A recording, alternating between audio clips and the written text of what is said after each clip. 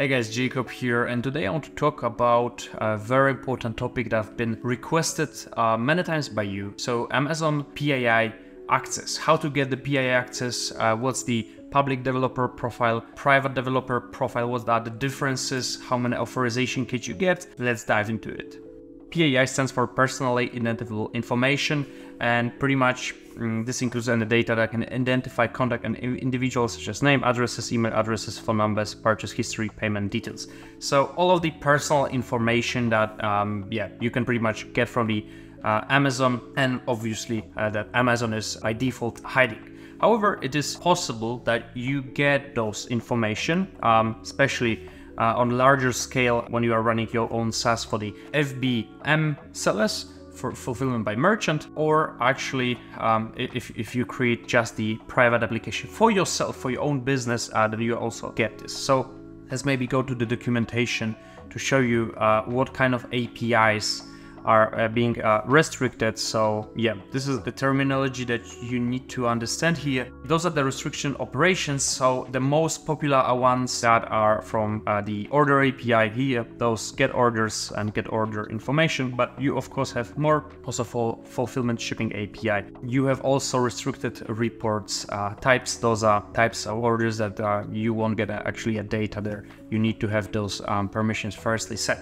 So Let's go and jump uh, more into the details right now. So first, let's talk about the actual types of applications and uh, how you can do those things. So first one is the private developer profile um, and private applications. This means that if you are a seller, you can uh, create the private application uh, developer profile. I'll, I'll, show you in a moment um, how. And you can authorize uh, one connection, which is your own shop and gather all of the data from there. If you have private app, you can also get the PII access and you can gather all of those information that you need. You need to simply go through the special application that I'll show you in a moment and apply for that. Other thing is that uh, you may want to develop the SaaS platform and for that you need to have the public developer profile. Now there are also two types of the public developer apps. So you have public apps uh, that are unlisted, which allows you to have 25 authorizations. So if you are actually building MVP, this is a perfect case scenario that you can test your app with the first users, uh, or you have a public uh, listed app that is going to the Amazon App Store that you can uh, authorize as many sellers as you want. So let me show you this now in the Seller Central. So first of all, regarding the Selling uh, Partner App Store, if you list your app here, it's going to be a public app. And for the public app, if you want to have a PII, you really need to have a case for this. There are just a couple of apps that got this uh, PII access. It's extremely hard. However, we helped our clients to, to get it. One of the companies is, for example, OpenBridge. They actually have uh, PII uh, data you can actually do that. It's very hard process to get and I'll show you in a moment how to do it. This is the App Store public listed applications. Now, before you actually have this, you can also have public unlisted applications. So let me go to my Seller Central. I'm actually here. As you see here, I'm a public developer. I have uh, different apps.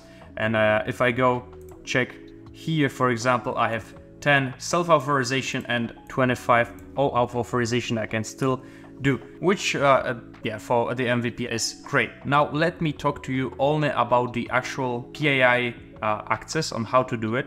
So once you go here, click uh, view profile, you have this form. The most important here is that uh, you either are a private developer or the public developer. Those differences I just mentioned. Let's assume that you just want the PII data for your own. You click the private developer and then you are going to click all of those.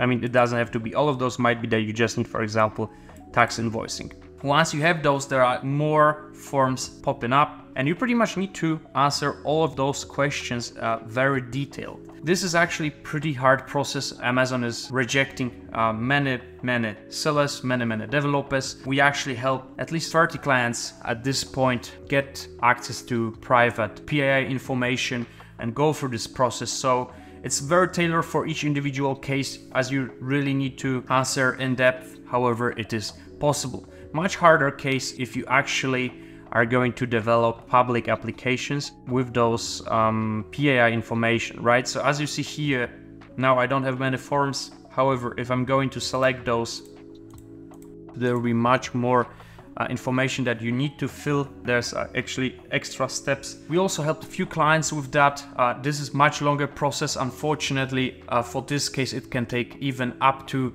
six months to completely finish it. It's much better to first create a private developer profile, request PII access and test your application with it. And then once it's done, actually switch to the public uh, developer profile. Obviously, not all of the apps can be uh, public listed uh, with the PII access. You really need to read through the Amazon documentation, or you can also contact us and we'll tell you if it's even possible for your SaaS to, uh, to get this access. Now, the last thing in the video is I just want to show you differences in the requests that have the access to the PII data and that doesn't have this access and what, what are pretty much differences in the responses that you will get from the selling partner API. So first one, I'll show you here the actual response um, from the account without the PII.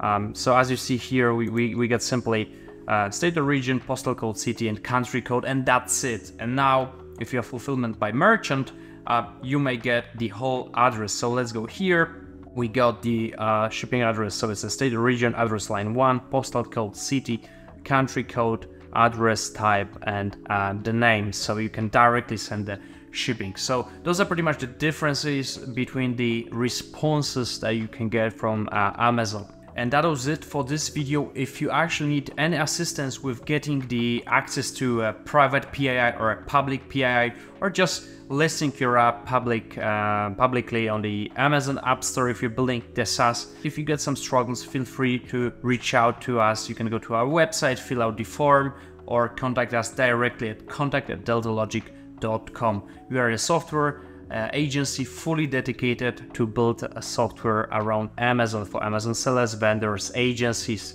and aggregators. So thanks a lot guys. Let me know also in the comments what would you like me to record next and I will see you in the next one. Bye bye.